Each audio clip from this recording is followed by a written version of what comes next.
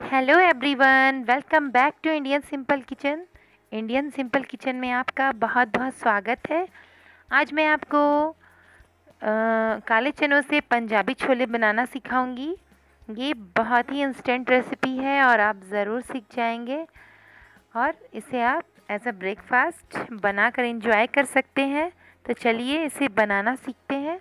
इसके लिए मैंने लिया है चना जिसे मैंने रात को भिगो दिया था। और मैंने लिया है प्याज, जिसे मैंने कट कर लिया है। मैंने लिया है टमाटर, अदरक और हरी मिर्च ली है मैंने। सबसे पहले मैं गैस पे एक कुकर रखूँगी और उसमें चने को डाल दूँगी। तो चनों को मैंने डाल दिया है और इसमें पानी डाल दिया है। अब हम इसे चार से पाँच सीटी आने तक अच्छे तरीके से पका लेंगे। अब मैं इधर मसालों को पीस लूँगी। मसालों में हमें प्याज, हरी मिर्च, टमाटर और अदरक को ब्लेंड कर लेना है। मैंने यहाँ दो मीडियम साइज़ के प्याज लिए हैं। मैंने यहाँ पे दो टुकड़े अदरक के लिए हैं। पाँच से छः हरी मिर्च ले ली है। और मैंने यहाँ पे दो मीडियम साइज़ के टमाटर को काट लिया है। अच्छे तरीके से हमें इसे ब्लेंड कर लेना है। ये देखिए ब्लेंड कर लिया मैंने इसे। मैंने इसे ज़्यादा पानी डालकर नहीं पीसा था क्योंकि प्याज और टमाटर में ऑलरेडी पानी होता है। ये देखिए पैन हमारा अब गर्म हो चुका है। इसमें मैंने मस्टर्ड ऑयल डाला है। तेल हमारा गर्म हो चुका है, अब मैं इसमें डालूँगी मसाले। बिल्कुल लो टू मीडियम फ्लेम में से फ्राई करें। मसाले बिल्कुल कच्चे नहीं रहने चाहिए। टमाटर है, जो पकने में थोड़ा टाइम लगाता है। ये देखिए, मैंने इसमें डाला है नमक। अब मैं इसमें डालूँगी हल्दी पाउडर। लाल मिर्च पाउडर। और इसे अच्छे तरीके से मिला लूँगी।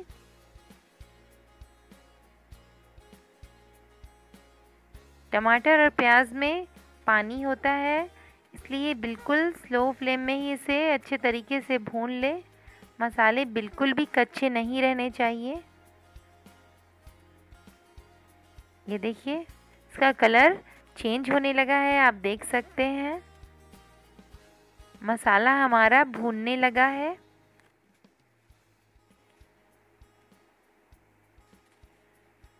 तो आप देख सकते हैं, इसमें से तेल अलग हो गया है। इसका मतलब मसाले हमारे अच्छे तरीके से भून चुके हैं। इधर मैं कुकर को देख लूँगी, हमारे चने अच्छे तरीके से गले की नहीं है।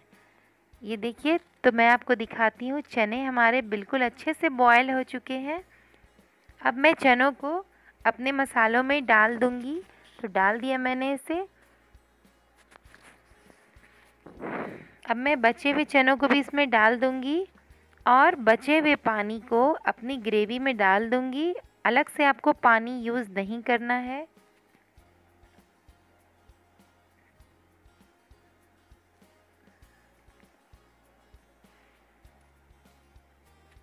आपने देखा, मैंने इसी पानी को इसमें यूज़ किया है। अब मैं स्पून की मदद से इसे दबा दबा कर बिल्कुल गाढ़ी कर लूँगी। हमारी ग्रेवी बिल्कुल गाढ़ी होनी चाहिए, ताकि इसका टेस्ट खाने में बहुत ही लजीज हो। ये देखिए, हमें इसमें से इस तरीके से दबा के कुछ कुछ चनों को मसल देना है, ताकि हमारी ग्रेवी बिल्कुल गाढ़ी हो जाए। बहुत ज़्यादा ज़ोर से इसे नहीं दबाएँ। ये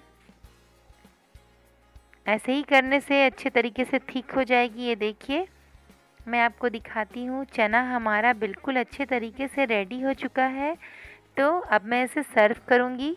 तो घर पे ज़रूर ये ये नए तरह के पंजाबी छोले, जिसे मैंने काले चनों से बनाया है। मैंने इसमें प्याज को राउंड शेप में कट करके और टमाटर को और हरी मिर्च को डाल दिया है। आप चाहें तो इसमें धनिया पत्ता भी डालकर एंजॉय कर सकते हैं। तो आप देख सकते हैं कितनी जल्दी हमारे छोले रेडी हो चुके हैं। अगर आपको मेरी रेसिपी अच्छी लगी हो तो मेरे चैनल को सब्सक्राइब करें और लाइक एंड शेयर ज़रूर करें।